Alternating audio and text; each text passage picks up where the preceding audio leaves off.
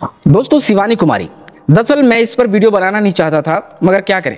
बनाना तो पड़ेगा, क्योंकि जब भी कोई व्यक्ति समाज के लोगों को इस्तेमाल करता है, उन्हें गुमराह करता है, उनके साथ विश्वासघात करता है तो ऐसे लोगों के चेहरों से नकली नकाब उतार कर उनका घिनौना चेहरा दिखाना हमारा कर्तव्य बन जाता है। और आज हम शायद शिवानी कुमारी का ऐसा ही कुछ नकाब उतार कर उसका असली चेहरा दिखाने वाले हैं। दोस्तों, जब तक शिवानी कुमारी बिग बॉस में नहीं गई थी तब तक वो बाबा साहब के मूर्तियों पर, उनकी तस्वीरों पर खूब माल्यार्पण करती थी। और शायद उसका ऐसा वीडियो देखकर बहुजन समाज से जुड़े तमाम जो लोग थे, वो उसको खूब सपोर्ट करते थे। यह सोचकर कि ये तो हमारे समाज की है, साथ में गरीब भी है, बेसहारा भी है, इसलिए इसका खूब सपोर्ट किया जाए। और खूब, बहुत खुश होते थे लोग कि यार हमारे समाज की एक लड़की है जो काफ़ी मतलब अच्छा फनी वीडियो बनाती है, इसको खूब सपोर्ट करो। खूब लोगों ने सपोर्ट किया, खूब इसका मतलब इतना ज़्यादा सपोर्ट किया भाई कि ये बिग बॉस तक पहुँचने वाली हो गई। और बिग बॉस में भी चली गई। बिग बॉस में गई तो वहाँ पे जब भी इसका नाम जो है नॉमिनेट किया जाता था, तब वोट करने के लिए सबसे पहले बहुजन समाज के लोग खड़े हो जाते थे। पैसे लगाते थे सब्सक्रिप्शन खरीदते थे, अपना पैसा लगाकर, और उसको खूब सारा जो है कि वोट करते थे।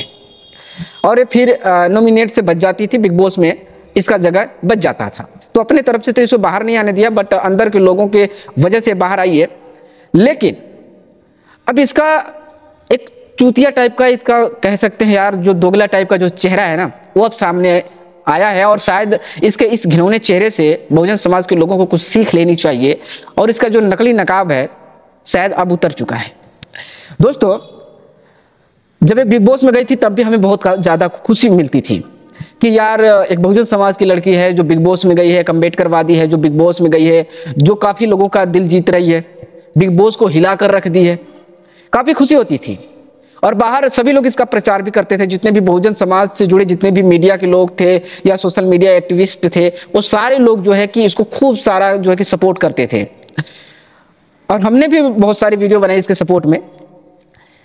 लेकिन जब ये बिग बॉस से बाहर आई दोस्तों, तब इसने वो सारी चीज़ें भूल गई जो बिग बॉस जाने से पहले करती थी।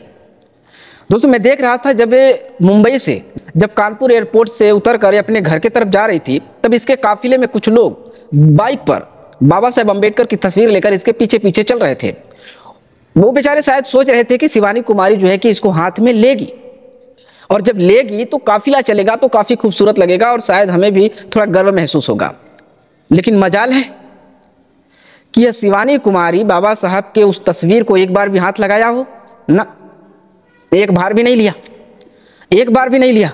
घर जाने के बाद भी इसने बाबा साहब का, के नाम पर कोई ऐसा कार्यक्रम नहीं रखा और ना ही उनके तस्वीरों पर जाकर किसी प्रकार का माल्यार्पण किया। इसने बाबा साहब के सम्मान में कोई काम अभी तक नहीं किया, लेकिन अब जो है, यह राधा बनकर कृष्ण के साथ नाच रही है। खैर, हमें इससे भी आपत्ति ना है। नाचे, खूब नाचे। राधा बन जाए या फिर कुछ, कोई और बन जाए और जिसके मर्ज़ी साथ करे, उसके साथ नाचे। हमें इससे कोई तकलीफ़ ना है। मगर जिस लोगों की वजह से, जिन लोगों की भावनाओं की वजह से, जिन लोगों के सहयोग की वजह से वो यहाँ तक पहुँची और इतना बड़ा नाम कमाया, कम से कम उनकी भावनाओं के साथ तो इस तरह का चूतियागिरी करके खेल तो नहीं खेलना चाहिए था ना? लोग समझते थे कि यार शिवानी कुमारी तो बहुजन समाज की बेटी है, और बाबा साहब को बहुत मानती है। और बिग बॉस से आएगी तो शायद अपने काफिले में बाबा साहब की तस्वीर लेकर लहराती हुई आएगी, भगवान बुद्ध की तस्वीर लेकर हाथ में दिखाएगी, और शायद जय भीम का नारा लगाएगी तो काफ़ी अच्छा लगेगा। लेकिन ऐसा कुछ ना हुआ। और बिग बॉस से निकलते ही इसके दिमाग में मनुवादी, सामंतवादी विचारधारा भर गई। और ये राधा बनकर नाच रही है। मतलब अब ये लोग क्या सब क्या मैसेज दे रही है? खुद तो बन गई, सोशल मीडिया के थ्रू बन गई, समाज के लोगों के सहयोग की वजह से यहाँ तक नाम कमा लिए। लेकिन अब ये और भी लोगों को या फिर बहुजन समाज की लड़कियों को, युवाओं को क्या संदेश देना चाहती है? कैसे राधा बन के नाचना और महापुरुषों को भूल जाना जैसे ही अमीर होना? इसको पता होना चाहिए कि यदि बहुजन समाज किसी को बना सकता है ना तो उसे गिरा भी सकता है। तो मैं इस बहन से यही अभी अभी भी अपील करूँगा, क्योंकि टाइम है भी बहुत इसके पास, कि अभी भी अपनी गलती को मानकर और बाबा साहब के नाम पर कोई बड़ा कार्यक्रम करें, जिसमें मुख्य अतिथि के तौर पर रहे, बाबा साहब का खुद अपने हाथों से सम्मान करें, जय भीम का नारा लगाए, ठीक है? तो मैं ज़रूर कहूँगा कि ये काम करें, ताकि बहुजन समाज के लोग इसे और भी आगे बढ़ाएँ, इसको और भी ज़्यादा सपोर्ट करें, वरना ये जैसे जैसे आगे बढ़ी है, वैसे वैसे नीचे भी आ जाएगी। सच्ची बता रहा हूँ मैं, क्योंकि बहुजन समाज के लोग इतना चूतिया और मूर्ख ना है, क्योंकि जिसको वो बना सकते हैं उसको गिराने का भी दम रखते हैं।